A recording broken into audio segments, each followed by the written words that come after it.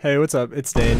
Uh, just wanted to let you know real quick that I have a TikTok account and I'm going to be posting an edited version of this video over on there.